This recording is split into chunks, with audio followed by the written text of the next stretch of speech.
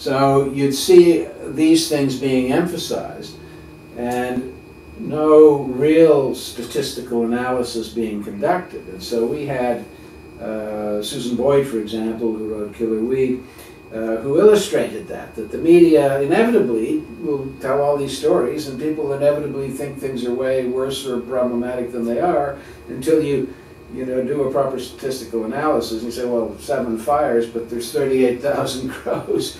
You know, I think one of the, the best stories arising through the trial was the, it was, it was, we were in trial uh, in April of uh, 2015 and uh, the 420 was on across the way from the federal court over at the old courthouse plaza there uh, in those days.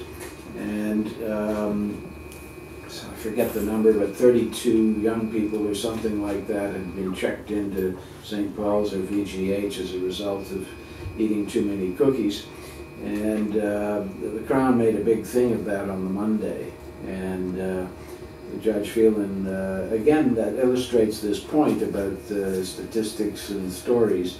You know, he said, well, how many? And, and uh, they said, oh, 32 young people went to the, 32, he says, yes, 38, uh, that's, that's no worse than a soccer game.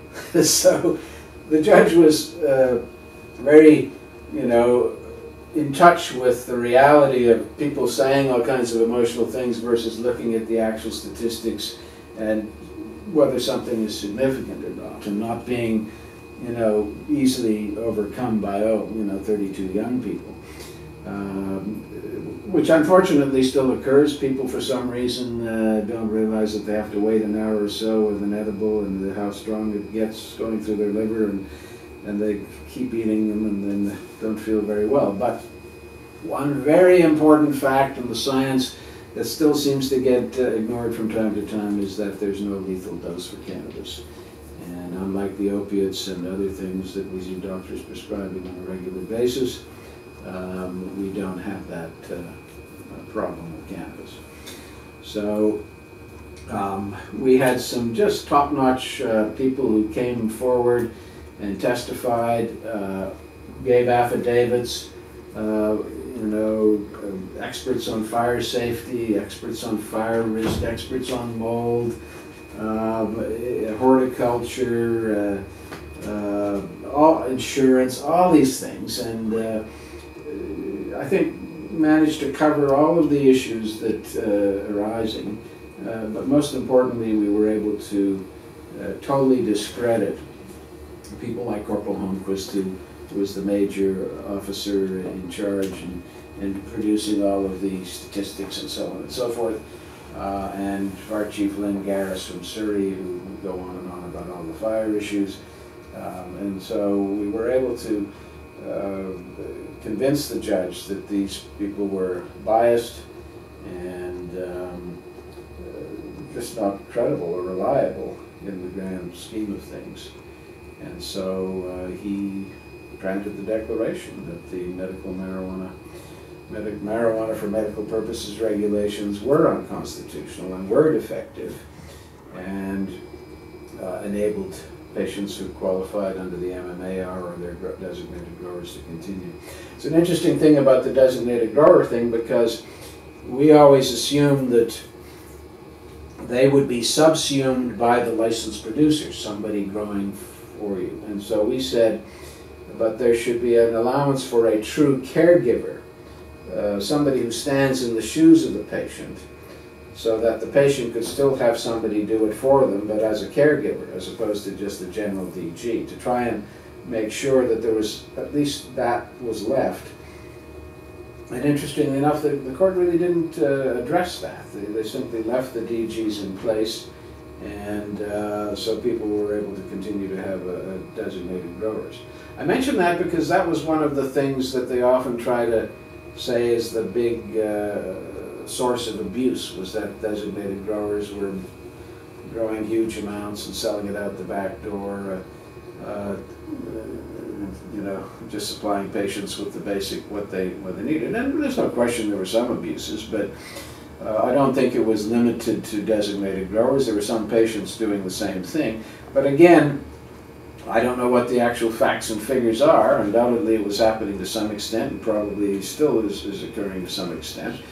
Uh, but um, there was no concrete evidence uh, of the extent to which that was happening. And so the court obviously didn't buy that the designated growers were the source of the problem and uh, left them intact.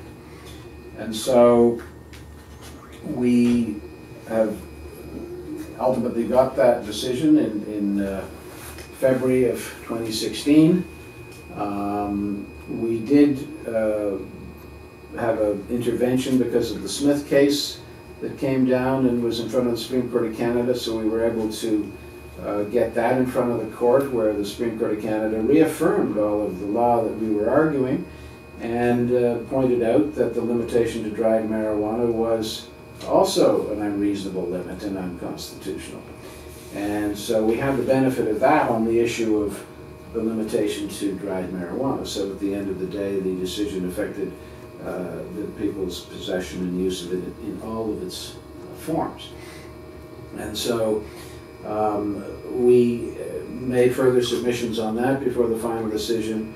I got the final decision, but there were still these problems of the, the 150 gram thing was carried forward, and uh, I think that was probably the major one. We, we actually tried four times to get uh, whether it was Judge Manson or Judge Phelan or the Court of Appeal or Judge Phelan again afterwards uh, to modify that part of the of the decision to because of people going to camps, people you know moving or going away, and, and that was the other issue, moving one's license, which was a problem because you had people who had to move. They the place had a fire, not from the grow or the, they had to sell their property, or, or they were tenants and they were given notice because of these things that were going on. And so there were people who were put in a position where they had valid licenses and yet they weren't able to continue uh, due to circumstances beyond their control. And so they were then basically forced to, uh, to either uh, go to an LP uh, or to the illicit market, which of course were the dispensaries. Um, although I have to say on behalf of the dispensaries that there's an argument there too that they too are providing reasonable access and that the restrictions uh, against them uh, are, are, similar to the restrictions placed on people's ability to grow or attempts to take that away. So it's going to be interesting to see how, how that all uh, turns out as, as time goes on. But basically, um, we were able to take on the federal government and Health Canada in particular, represented by the Department of Justice. We were able to uh, critically examine uh, their position and all of the stuff that they were putting forward to try and discredit uh, what was going on. Uh, we were able to uh, hear from the Israelis. We were able to hear from uh, uh, people from Holland. Uh, it was uh, quite fascinating in that we were able to hear from a number of experts and from different countries who have lots of experience with various things. And um, so at the end of the day, bearing in mind again that not everybody that gave affidavits was examined or cross-examined. Nevertheless, uh, by the end of the day, Judge Phelan had a huge amount of evidence to consider, both written and uh, the transcripts of the evidence before him. And uh, of course, to our great uh, pleasure, decided that yes, the MMPR was unconstitutional. It didn't provide reasonable access, uh, forcing people to have to get their supply from a limited number of licensed producers uh, not knowing whether you were going to get it uh, or the strains that you wanted or all these sorts of things just wasn't uh, good enough and wasn't uh, uh, complying, wasn't providing reasonable access, and therefore you still had patients whose liberty was being impacted, the security of the person was being impacted. Um, and so they were still being forced on occasion to choose between their liberty and their health. Uh, another thing that's protected by Section 7 is decisions of fundamental personal importance, and obviously uh, one's health uh, falls into that category, and so that was another basis for, for the Section 7 decision. So he found violation of Section 7 and uh, granted uh, declarations to that effect and uh, continued the injunction of Judge Manson with still the 150 gram limit uh, until further order of the court. And so that's important for people to remember that, that if you are grandfathered under Allard, you remain grandfathered under Allard until the court says otherwise. And maybe the Department of Justice or the government at some point in the future may try to undo it. Uh, we don't know. Um, and so we have uh, a constitutional convention here, and I should maybe explain this if you'll remember at Smith, the often the court grants a, a declaration that the law, the statute law is unconstitutional, and then gives the government a period of time to try and fix it up. And it's a convention or a protocol that's developed in constitutional litigation. Um, and so often they get six months to try and fix it up and make it constitutional. And that's kind of, to some, is, can be a problem because you've declared the law to be unconstitutional. So how can you continue it for six months and put people into this position? That Smith's a good example where the Supreme Court of Canada refused to give the government any period of time to fix it up. They simply said patients are going to be affected right away and, you know, what do you need six months for? We're simply saying it's cannabis in all of its forms. So there was an example where the court declined to, to give the, the six month or three months or whatever. But Judge Phelan, on the other hand, in his decision, declared the MMPR to be unconstitutional and gave them six months to fix it up. On February 24th, 2016, they had to come up with a new set of regulations by August of 2016. And so what the government did was they basically took the MMPR, marijuana medical purposes regs, and put them in part one to now the access to cannabis for medical purposes regs, ACMPR. So MMAR to MMPR to ACMPR. And they took the old MMAR and put it in part two with a few tweaks. And that's essentially the ACMPR, with them saying clearly in their announcement that this was temporary and because of the whole legalization thing that was also being looked at by the government by this time. And so, um, essentially, uh, what's developed since then is that we've had the task force on legalization and regulation um, address medical by saying, well, we should probably leave the existing scheme in place for, say, five years uh, in order to see whether one needs a separate and distinct medical uh, setup as compared to legalization. Because many people, and certainly the police and the doctors and all these folks, they want it to be, okay, it's legal, it's one thing, and you know, you don't have a separate a medical regime. We, I think, were able to convince the task force that no, you know, if you're going to say four plants and and 30 grams and limits like this on people in terms of general legal, recreational, or personal use, um, that's not what the, the issue for patients is determining what they need for their particular medical problem. And that's something that's between the doctor and the patient uh, in order to determine what works. Just like if you go to a doctor and they say, take a couple of these pills, come back in a month, and let's adjust the dosage. You know, nothing much different to that. But so the, the task force rec recognized that, and so at the moment we're in a situation where the next five years anyway, we probably will have this ACMPR scheme. Um, maybe the MMAR will continue. I've certainly recommended to people online and elsewhere that there's not no harm in applying under the ACMPR because you don't lose your MMAR. The only way you lose your MMAR if the court says so. So there's nothing to lose in going through the ACMPR, hopefully getting the same reasonable access as you got under the MMAR.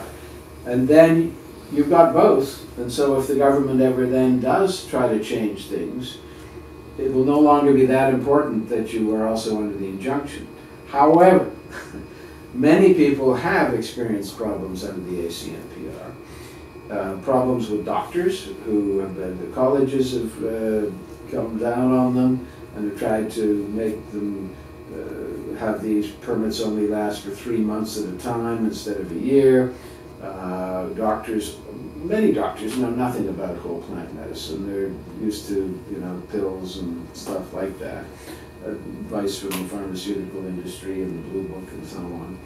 And so uh, naturopaths, doctors of traditional Chinese medicine, people like this usually know more about it, and so you would hope that they would consult with them uh, because they do have this role as the gatekeepers, and it's a role that they, they don't like.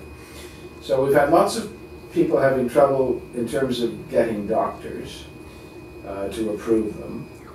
And we've also had uh, problems in terms of dosages with them trying to reduce people's dosages simply based on the, I guess, the Israeli testimony that Health Canada re repeats always about the one to three grams.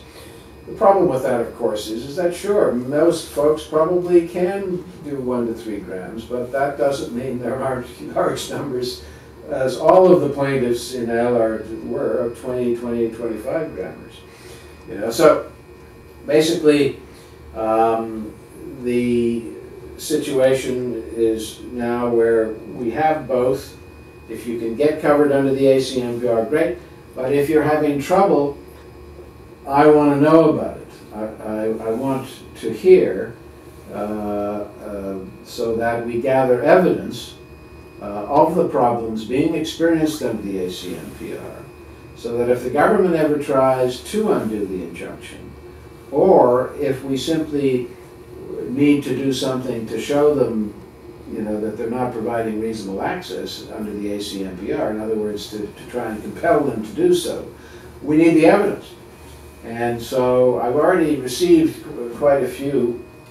Um, in relation to the doctor issue, uh, uh, people should know that as a result of this, uh, there's a group called Practitioners of uh, Medical Cannabis, and they've now got some doctors in other countries that have joined them.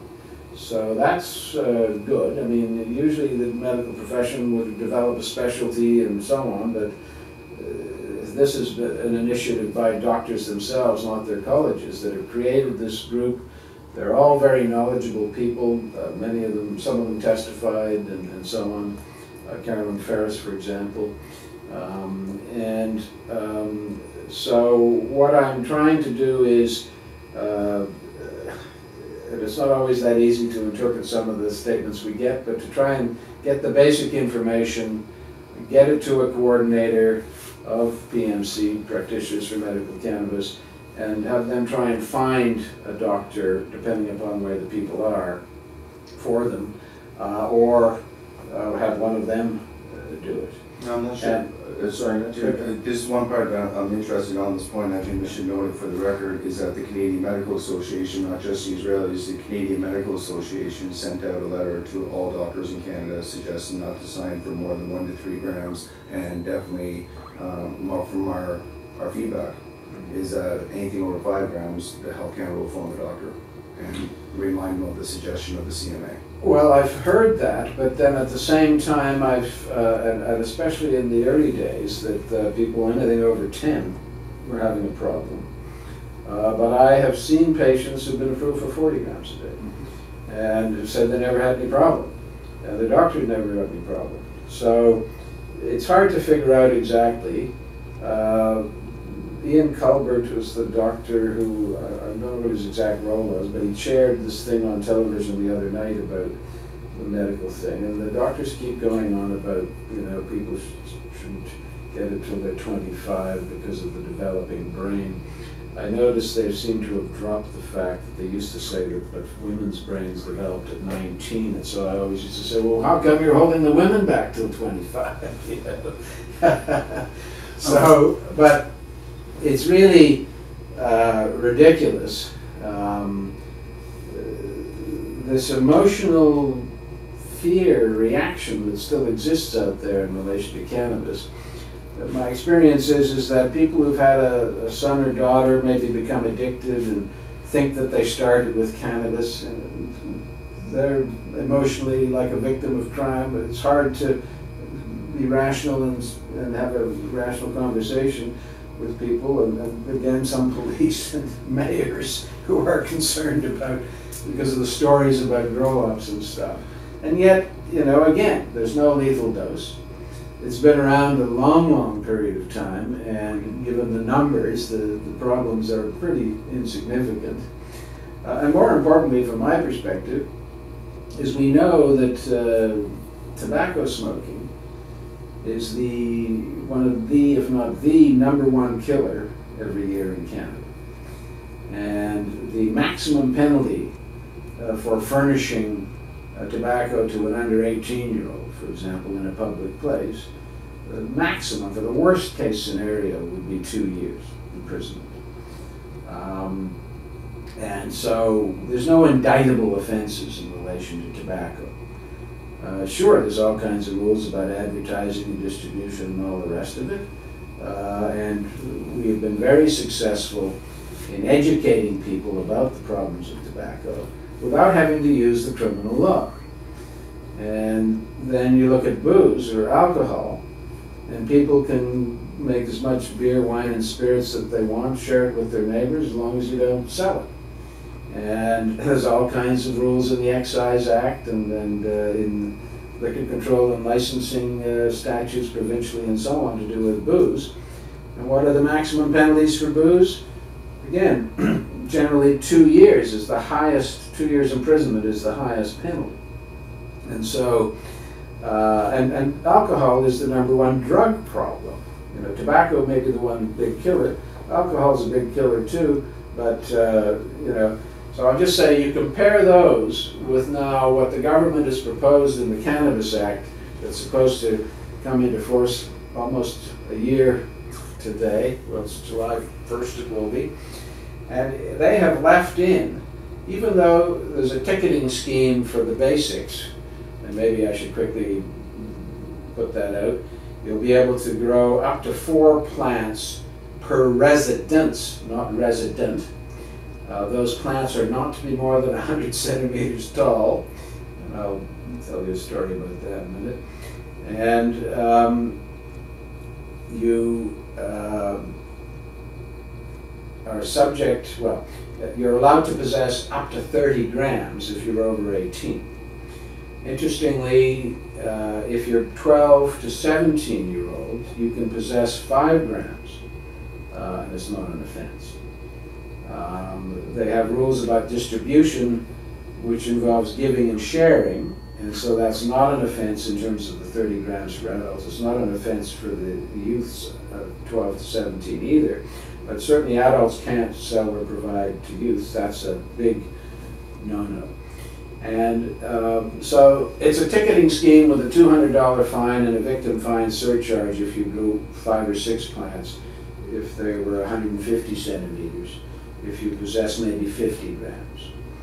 Um, but if you go over that, they've left in place the whole criminal law scheme uh, of summary conviction up to two years and indictable offenses up to 14 years. Now, trafficking, possession for the purpose of trafficking currently is life and has been for a long time. Production is 14, it used to be 7. Harper government jacked it up to 14. The effect of that was to take away a judge's ability to sentence you to prison, but have you serve it in the community. Because if there's mandatory minimums or 14 and up, you can't get that. So we really, if, we need people to address the government on this. You know, why do they need to have indictable offenses and uh, all of these huge penalties uh, still in existence uh, for cannabis? If uh, you know the max is two years for tobacco and, and alcohol. I mean, there's a major inconsistency there that's not warranted by the evidence in relation to cannabis. And so we need to, they're still thinking drug war And we need to get them to stop thinking drug war On, and on- to realize. on that note, I'd like, I'd like to circle us back, just to close out the trial, we've covered the chronological stuff on the trial, this will be easy to chop up. But what's important, I, I think, um, circling back to the trial, um, one, it's historic, and I'd like you, can just, um, on the record, why was it historic, why were we awarded substantial amenities? Um, how I, it it became a public interest case, the first ever cannabis public interest case in Canada. Um, these are some of the things I'd like to kind of touch on, that's the historic nature, we'll get into your personal, like, I wanted to Yeah. get John Conroy, the person after this. Okay, well, I mean, basically, uh, you know, cannabis has been illegal in Canada to possess it or grow it or traffic in it or possess it for the purpose of trafficking since 1923. It was put in the schedule to the then Opium and Narcotic Act. Uh, People need to know that we had been kicking out Chinese people for possession of opium product before that. Uh, The US had brought in cannabis uh, in individual states uh, before that. Uh, The US didn't uh, federally make it illegal to 1937. But you had all of this hype about cannabis, the reefer madness stuff about cannabis, the, the focus, on- there's a number of theories as to why with alcohol prohibition coming off, this was the new drug on the scene, and, and so it slowly each state, uh, you know, the fear was there that this was going to be the next problem. They all passed these rules, and then finally the feds passed the rules. There was no problem going on in Canada. Very, very few incidences of cannabis possession or use in 1923, and really not much until the 60s.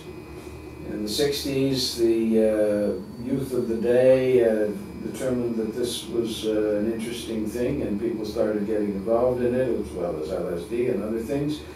And uh, so all of a sudden,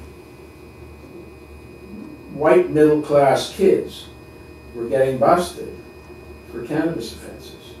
And the penalties, we had mandatory minimums of, of six months and things like that. There were serious penalties. And so they had to quickly move in the 60s to undo those penalties so that white middle class kids wouldn't go to jail. And so and there was that was the beginning of NORML USA, the national organization for the reform of the marijuana laws. Uh, eventually, NORML Canada, the national organization up here, uh, lobby groups to try and convince the government that a lot of this was nonsense and to overcome this emotional reaction that uh, existed out there in terms of reefer madness. And you would think, given what we know about cannabis, that it would be relatively easy. But as we've discovered, reason, uh, logic, and rationality and evidence uh, sometimes has little to do with uh, political decisions.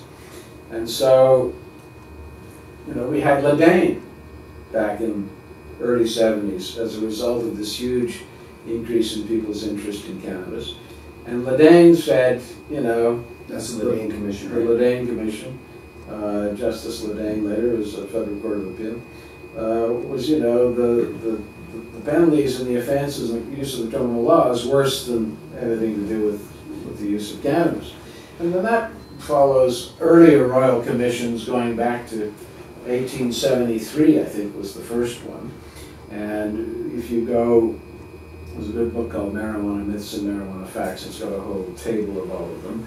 And since Le Dain, we've had, of course, uh, the Senate committee, more recent, uh, well, even that's 10 years old now. Um, and so every single uh, report, pretty well, on cannabis that's ever been done, every royal commission and so on, has basically concluded that, you know, it's a bit ridiculous to be using criminal law basically for this. But nevertheless, there's this emotional thing there that people, and uh, you know, it's d- uh, drugs and and and the, the belief in the stepping stone theory, which has been discredited over and over again. So that's why uh, this case uh, was really important, is because we had judges, and, and people, some people anyway, don't understand this, that you've got politicians who make decisions and say things based on all kinds of information, valid, reliable, or otherwise. Uh, judges hear evidence. Um, juries hear evidence, and in fine, in great detail. And they make decisions based on the evidence. And so the courtroom was the appropriate place to try and have a judge uh, listen to the evidence and not be distracted by the distortions and the emotional reactions and sift through all of that and come to some decisions. And so it was a good example of where the police and the fire people and others were going on and on about all these problems when in fact they were fairly relatively low compared to the bigger picture. And so through a court procedure we were able to establish that. And we were able to establish remember this was is, is medical and not recreational because there will still be people who are, are uptight about the recreational aspect of things. But here we had solid evidence going back some time, in fact some of it very ancient, but a lot of good current modern evidence as well, that this plant and what's in this plant can help lots of people for lots of medical situations without the side effects and other problems that come from mainstream allopathic medicine prescribed drugs. And so, you know, we were able to have witnesses and experts and testify and uh, put this evidence up. And counter the media distortion stuff. Not to blame the media, just it's there, and so it needed to be straightened out so that the full correct picture was there. And fortunately, we were able to do that first with Justice Manson, so that we got the injunction, which was huge. Uh, and then, I mean, everybody, at least in the police and so on, thought there's no way we were going to succeed at trial.